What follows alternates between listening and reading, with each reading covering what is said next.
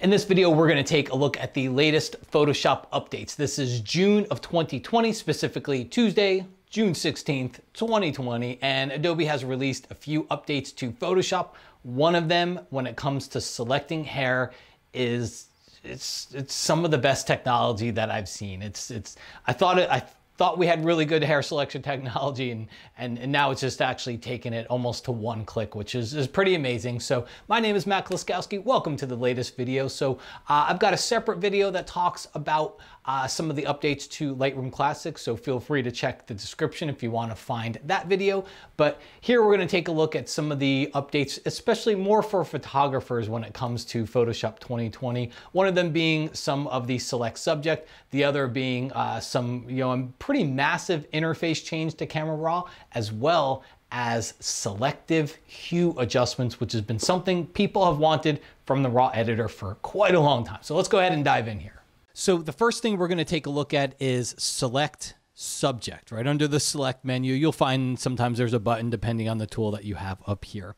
And and what I did is is I made a copy of the original ver the Photoshop before the update. So this morning before I updated, I made a copy to just show you how jagged select subject is here. Okay. And you might recognize this photo because I've used it in a lot of tutorials where I do hair selection because everybody's is always, you know, everybody always wants to know about hair selection.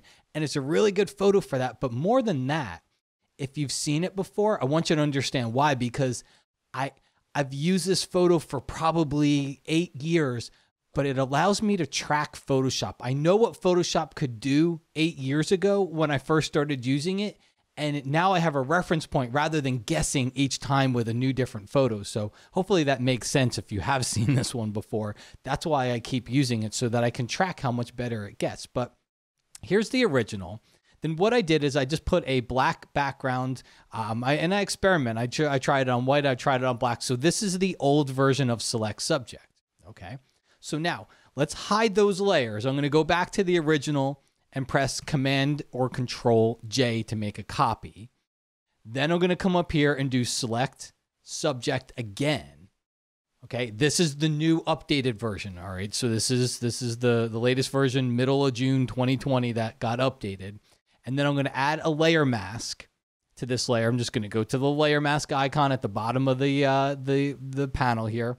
Add a layer mask to it which is exactly what I did before. Drag it, change the order, turn it back on. Look at that. Seriously, let's take a look. This is before, this is the old version.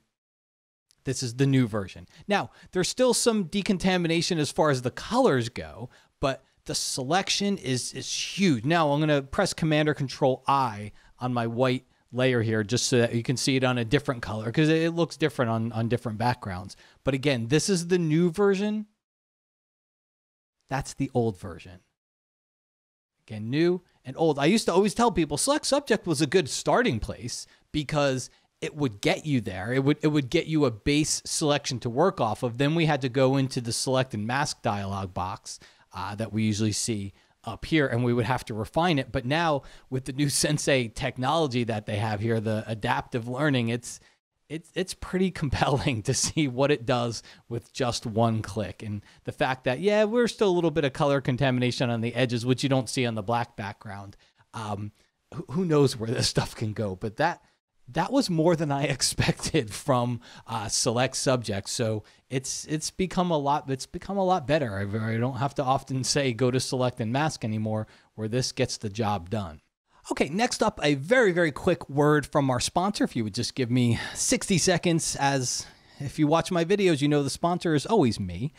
Um, if you guys would swing by the website over at mattk.com, got lots of great training courses and presets for you, as well as free tutorials. Uh, if you click on the courses, one of the things we're doing uh, during this time is a temporary 50% off pricing for those that have to stay home a little bit more than than they're used to right now and want to use this time to to do a little bit of learning. Um, hopefully, this helps out. So as you look through the courses section, uh, specifically, if you want to learn more about Lightroom, my my Lightroom system is the all-encompassing uh, Lightroom course. Everything from importing, organizing catalogs, develop, advanced develop, uh, printing photo books, and my Photoshop system is my big Photoshop course. So if you're if you're pretty new to Photoshop and you want a course that's not going to teach you everything that graphic designers and illustrators need, but rather just the Photoshops, just the photography stuff, just the stuff that you need to know as a photographer. Um, Photoshop becomes a much easier tool to learn when you cut all that other stuff out. So both of those courses are on sale. And uh, during these times, I always like to point out I, I, give you at least six months of free updates, if not longer. I, I usually do much longer than that. So you're not stuck having to go buy another Lightroom course just for a couple of updates. But you can scroll through the page and see a lot more advanced courses over there as well. Okay, let's jump back over to the tutorial. All right. Uh, next couple of updates. So let's go switch over to this photo. Uh, if you were to open up a photo in Camera Raw, and I'll do it through the filter menu now, but if you open up a raw photo, the same thing would happen. Um, you can see here you get a new little splash screen, and you can get an idea for for the uh, for what it's included. New look and feel, so a couple of interface changes, uh, ISO adaptive presets. Here's the big one: local hue. So it's basically selective hue adjustments. For, for as long as I've been teaching Lightroom, people have been asking for this adjustment. So right off the bat, I think the interface does look a little bit more modern, a little bit more crisp and clean. Um, you'll notice gone is the toolbar at the top. Remember, all of our tools used to be over here at the top. So that's a pretty big change. Now you're going to see all of your tools over here on the right hand side. Okay, a lot like the Lightroom uh, cloud version that you'll find on your uh, desktop and mobile devices. So you'll see all of your tools over here on the right hand side. And then you can click those uh, those little options there. You can see a couple more options inside of there. So let's go to our brush tool. And here's the big setting that is, is probably one of the most asked setting. And it's also included in Lightroom uh, Classic and Lightroom, the cloud mobile version as well. Selective hue. So now you can use your graduated filter, your radial filter, or your brush to selectively change the hue. We've had hue and saturation adjustments um, in, in as a panel, but now we have them as a selective adjustment as well, so it's not global. So we go over here and we change it. You can always go up. A couple of things have changed. You know, you notice uh, a couple of settings in your brush, some new icons over here, and don't forget there's a little left facing arrow icon over here where it's next to the brush size, you've got to flip it down and now you'll get all of your brush settings as well as auto mask. So I would go and just kind of brush along here. I'm not going to be too particular about it for our video purposes here, but just keep that middle crosshair over. And I did not in some of these spots. Uh, you can always hold down Option or Alt to erase from there but that'll help your auto mask work a little bit better. All right. Um, and I'll go ahead and keep brushing there, get a little bit. And then I always turn auto mask off when I don't need it because it just works better and faster uh, without it. So now I'm selectively changing hue. Again, I had hue sliders in a separate panel, but those were global adjustments. So they were going to get affected to the whole photo. So now I've just painted in this one area. And as I go in here and I scroll through, you can see I can change the color. I missed a couple of spots over here, but you get the idea. Now we can go in here and selectively change the hue of certain parts of the photo. Now, just trying to walk you through some interface changes. When you want to get back to your regular panels, you've got to click the little edit settings here, and the keyboard shortcut is E. So that's a good keyboard shortcut to remember, too. Just E will get you back to all of your normal panels here. And again, you're going to notice everything's got a little bit of a facelift curves. You'll see the RGB channels in a little bit of a different way here. Uh, if I were to go in and add anything with curves to the photo, uh, once I collapse that panel, you'll see a little eyeball icon that's lit up, meaning you have changes in that panel. So you've got a visual cue to know that something's changed inside of there. When you come down here to the color mixer, and you'll notice we can adjust HSL or you can adjust color they basically do the same thing. They do it in a different way, but you'll notice a little bit of a facelift over there. Uh, if you want to get to your presets, so again, there was a, there was a separate little preset panel. Now you'll notice it is a little icon over here on the right hand side.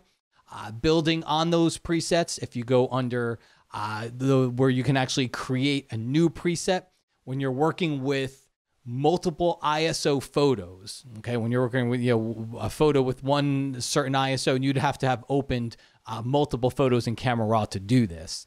But when you click create new preset, you're going to see create ISO adaptive preset. So that's a setting that was lost um, when Lightroom or when Photoshop and Lightroom both updated to the way that they will allow you to apply defaults to your photos they that ISO adaptive preset was lost and that was a few months ago. Well, now it's back. It's just back in a different in a way that probably makes a little bit more sense now. So again, you would have had to open up two different ISO photos into Adobe Camera Raw and have those photos selected when you went to create a preset to see this uh, enabled here. But you can create your presets uh, that way as well. Okay. All right, so let's cancel out of Camera Raw. And the last thing is going to be, and I'm gonna I'm gonna actually point you over. I'll leave a link in the description to the Adobe website uh, where you can find out a little bit more about the graphic design features. But when it comes to the type tool, so uh, if you're if you're using text in your photo, so I'll just go type in some text here. If you're using text in your photo, if you ever opened up a, an image that maybe was a long time ago or somebody gave you and that font wasn't available on your computer, you would see a missing font message. So now they have this uh, way to auto enable that font. So you should see less of those messages. And then if you come up here to the type menu, uh, one of the things that we've been able to do, one of the newer features, was the ability to uh, match a font. So you can see down here, match font and it lets you gives you this box where you can draw this around. This has been around for a while. So with that new Adobe Sensei technology, which is a big part of where your hair selection was improved from because Adobe's constantly working on that AI technology.